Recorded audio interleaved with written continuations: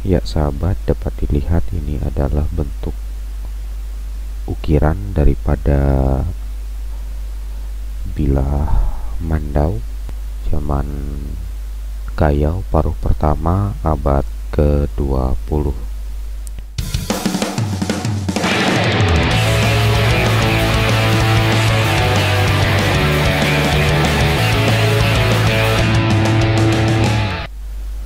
Ya sahabat, salam tabi dengan latai, salam sujud karena melempang, adil kata linu, baju ramen kasaruga, besengat kejubata, arus, arus, arus.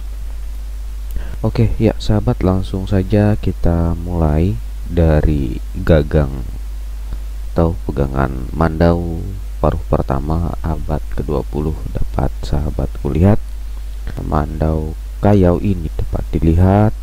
Pada gagangnya ini terbuat dari tanduk rusa dan diukir dengan ukir-ukiran khas Dayak tradisional. Dan pada mandau ini juga bisa dilihat di sini dililit ini sepertinya menggunakan tali ini. Dan di sini juga untuk merekatkan pegangan mandau ini menggunakan seperti tanduk juga sahabat cuma ini yang sudah bulat. Nah ini dia bentuknya. Oke sahabat selanjutnya kita ke nah ini adalah bentuk daripada bilah mandau tersebut sahabat. Bisa dilihat ini jika di deskripsi ini dinamakan dengan parang hilang ini dia bisa dilihat dan pada mandau ini juga bisa dilihat memiliki warna yang agak gelap dan ini biasanya kalau orang luar negeri sana sahabat ini memang karat ataupun rosi daripada besi itu sudah dibersihkan menggunakan cairan agar terlihat bentuk asli daripada mandau tersebut. Nah, ini juga bisa dilihat di sini ada beberapa ukir-ukiran khas Dayak dan di sini juga ada tempat pelindung daripada tangan kita. Nah, ini dia. Kita lihat lagi.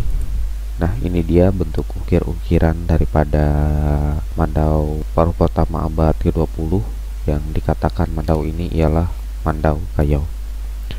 Nah, seperti ini dia ukirannya sahabat. Ini dia masih masih ini dia ukir-ukirannya dan ini masih ada bekas hitam atau karat yang biasa ada pada besi mandau. Nah yang paling unik daripada mandau ini memiliki ukir-ukiran. Nah ini seperti itu bintang ataukah bahwa ini ialah tatahan kuningan yang biasanya itu bisa lepas sahabat nah ini bisa dilihat titikan-titikan seperti bintang dan ini juga dihiasi tim ornamen ukiran tradisional. Nah mandau ini juga memiliki tiga lengkung. Ya sahabat.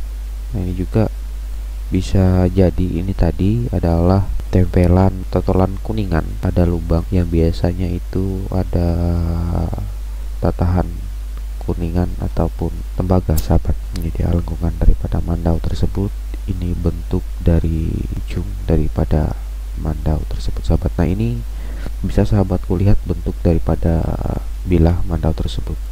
Nah ini dia secara keseluruhan bentuk daripada mandau paruh pertama abad ke-20 tadi. Nah ya sahabat nah ya selanjutnya kita akan menuju ke sarung daripada mandau. Sarung mandau abad ke-20 ini memiliki warna yang coklat dan memiliki keunikan pada sarungnya.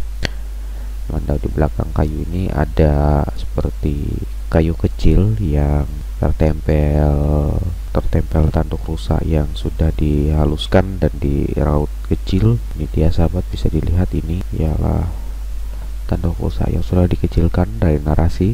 Ini dia bentuk daripada sarung mandau tersebut. Nah ini kita perdekat nah ini dia bentuk daripada ukiran yang menggunakan tanduk tadi sahabat. Ini dia. Di sini juga ada ukir-ukiran cukup indah dan pada dan pada sarung mandau ini juga sudah dililit menggunakan beberapa ikatan rotan sahabat. Ini dia ikatan rotan tersebut untuk merekatkan daripada sarung mandau tersebut. Nah ini juga bisa dilihat mandau ini memiliki jumbai rambut yang berwarna-warni. Ia ada warna hitam ada warna kuning-kuningan dan ada warna merah.